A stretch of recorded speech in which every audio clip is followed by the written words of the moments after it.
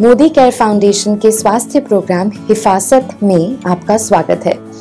मैं डॉक्टर शुचि लखनपाल कालिया महिलाओं की डॉक्टर, आज आपसे महिला स्वास्थ्य के बारे में बात करूँगी।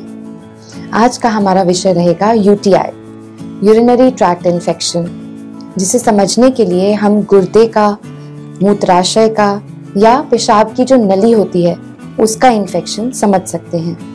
तो कभी भी अगर जैसे आपको लगता है कि बहुत तेज चाह हो रही है बाथरूम जाने की, पेशाब करने की, मगर आ नहीं रहा। या बहुत जलन हो रही है पेशाब के रास्ते।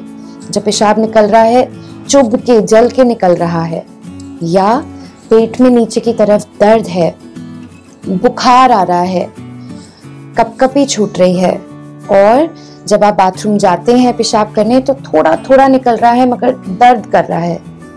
ये सारी चीज़ें अगर होती हैं तो इसका मतलब आपको यूरिन का, पेशाब का इन्फेक्शन है। ऐसे में डॉक्टर के पास जाना ज़रूरी है। कुछ घर के ही नुस्खे हैं, जिन्हें करने से इसको होने का चांस कम हो जाता है। क्या है ये नुस्खे? सबसे पहले खूब पानी पिए। दो से तीन लीटर, चार लीटर पानी पिए।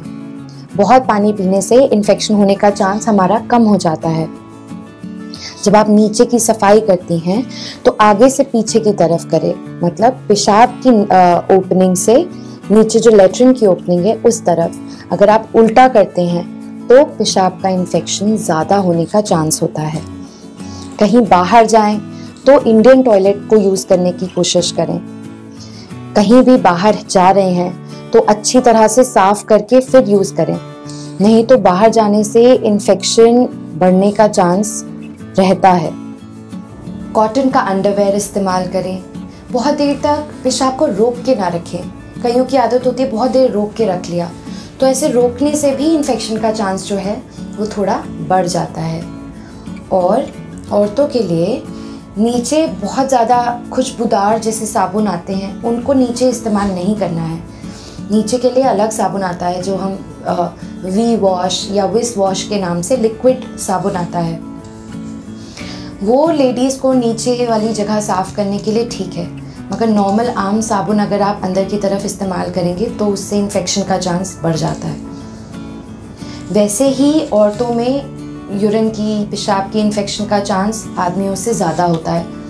क्योंकि मूत्र की नली जो होती है, पेशाब की नली, वो छोटी होती है।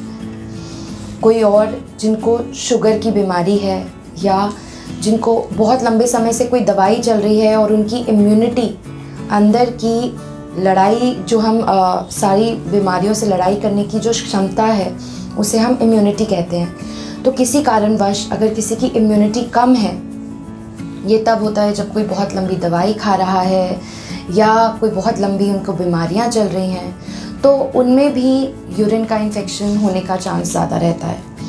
अगर कोई है जो बहुत एंटीबायोटिक खाते हैं खुद से दवाई खा लेते हैं थोड़ी सी कोई तकलीफ़ हुई, खुद से कोई बाहर से दवाई लेकर खा ली।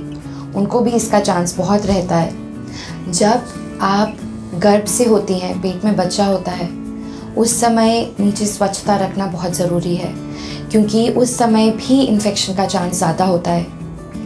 आपने सुना होगा किसी किसी को स्टोन्स हो जाते हैं पत्थरी हो जाती है, गुर्दे में या गुर्दे ये पेशाब की थैली में। तो जिनको ये होता है, उनको भी इन्फेक्शन का चांस ज़्यादा है।